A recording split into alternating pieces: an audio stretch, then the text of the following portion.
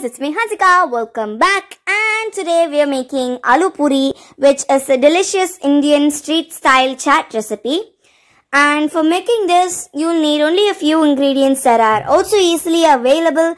And let's start making. You'll need some mashed potatoes.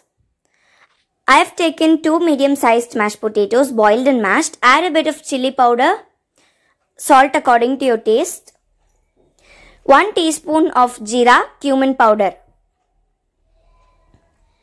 and also 1 tablespoon of chaat masala. And finally, you'll need to add 1 tablespoon of green chutney which we use for chaats. I have uploaded this recipe on my YouTube channel. The link is given in the description box below. And after mixing it like this,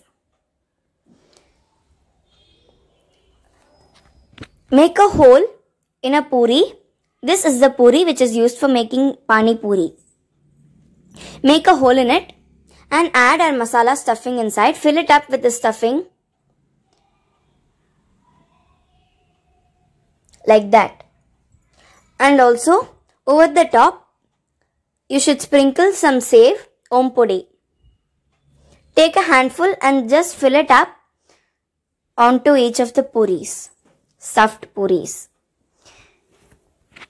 And finally, you can add a bit of coriander leaves chopped or you can just add it just like that. And that's it. Delicious aloo puri is ready. You can try this recipe at home. It's very easy and simple. It just took me 2 minutes to make this. And make sure to subscribe to my channel, hit the notification bell and I'll see you guys in my next video. Bye bye.